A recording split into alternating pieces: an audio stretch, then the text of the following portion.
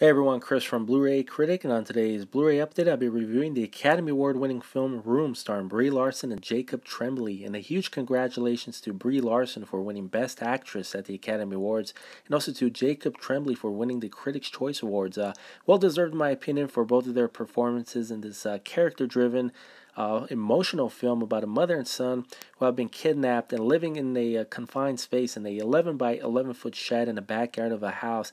And as they try to make ends meet and hopefully one day try to make their daring escape and uh, reunite with their family once and for all.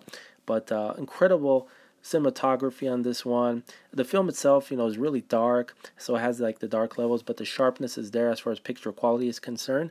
So I'm gonna rate the picture quality a four and a half out of a five, and I'm gonna give the audio a solid five out of a five. And I really like the behind the scenes featurettes. You get three in-depth featurettes as far as the making of the film and how they made the room itself. And I liked how they paid close attention to every single detail that you see in that room itself, like uh, the dirt marks on the wall, you know, like stains, uh, scratch marks, the paintings, like the kid drew some uh, nice drawings on the wall and you know placed it on there to make it look like they've been there for many many years. So well done on the whole production design and just well written as well. So this is a based on the uh, novel best-selling novel that is so uh, so as i mentioned you get three in-depth uh, behind the scenes featurettes you also get a great audio commentary track with the director and crew.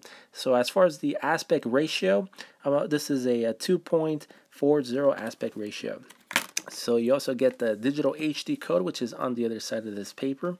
And then there's the disc itself right there. So definitely check this film out, guys. If you like uh, well-acted movies, uh, just well written and all that. You definitely have to see this film. And uh, also was nominated for uh, four Academy Awards, including Best Picture. And as I mentioned, uh, Brie Larson picking up the uh, Oscar for uh, Best Actress. So I rate the four four and a half for the picture, and I rate the audio a solid five out of a five, as I mentioned. So thanks for taking a look at my review for the film Room, and I'll see you guys soon in my next update. Take care.